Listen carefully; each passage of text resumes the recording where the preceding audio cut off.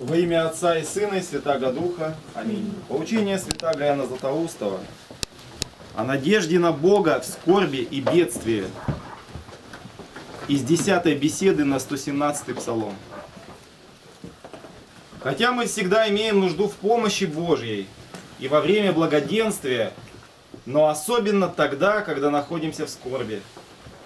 Но чтобы получить помощь Божию, мы не должны оставаться в бездействии, но привносить и со своей стороны молитвы, милостыни и прочее.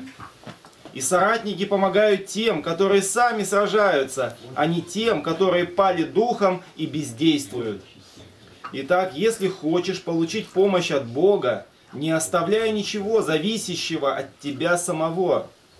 Так Иов получил помощь, потому что сам твердо стоял и боролся так и апостолы, потому что сами были деятельны.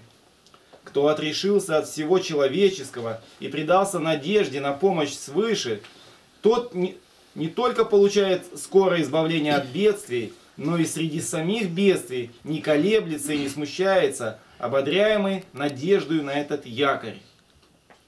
Так три отрока не только избавились из пищи, но и находясь в пищи не смущались, потому что были уверены в помощи Божией.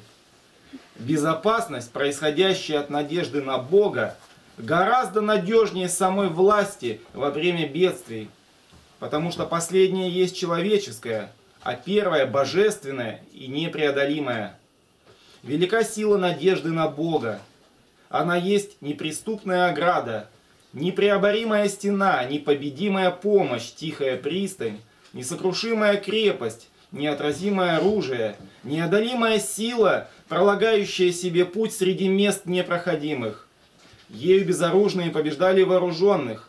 Жены мужей, дети весьма легко оказывались сильнее опытных в военном искусстве. И удивительно ли, что они побеждали врагов, когда они одерживали победу над самим миром. Пред, пред ними стихии завывали свою природу и обращались в их пользу. Звери не были более зверями и печь печью, потому что надежда на Бога преобразует все. Острые зубы, тесная темница, естественная свирепость, мучительный голод, челюсти близ самого тела пророка. Ничто не могло, ничто не было преградою. Но надежда на Бога сильнее всякой узды сдерживала челюсти, обращала их назад – ты только надейся не на человека, а на Бога. Псалом 117, 8, 9. Лучше уповать на Господа, нежели надеяться на человека. Лучше уповать на Господа, нежели надеяться на князей. Другой пророк говорит, Иеремия 17.5, проклят человек, который надеется на человека, и плоть делает своей опорою, и которого сердце удаляется от Господа. Нет ничего слабее такой надежды она слабее паутины. И не только она слаба, но и опасна. Это знают все те, которые надеялись на людей и погибли вместе с ними. Напротив, надежда на Бога не только тверда, но и безопасна, не подвержена никакой перемене, посему и Павел говорит, надежда не постыжает. И другой премудрый говорит, взгляните на древние роды и посмотрите, кто верил Господу и был постыжен – или кто пребывал в страхе его и был оставлен? Или кто вызывал к нему, и он презрел его? Сирахов 2.10. Но я, скажешь, надеялся и посрамился. Не клевещи человек, не противоречь божественному писанию. Если ты посрамился, то, конечно, потому, что не надеялся, как должно. Ослабел, не дождался конца, стал малодушествовать. Не делай же этого. Но когда видишь наступающие бедствия, не падай духом. Это, собственно, и есть надежда, стоять твердо среди опасностей.